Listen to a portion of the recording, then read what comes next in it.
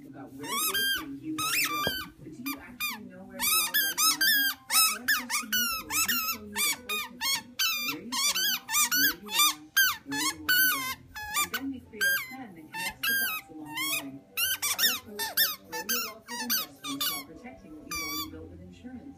So you can enjoy everything between here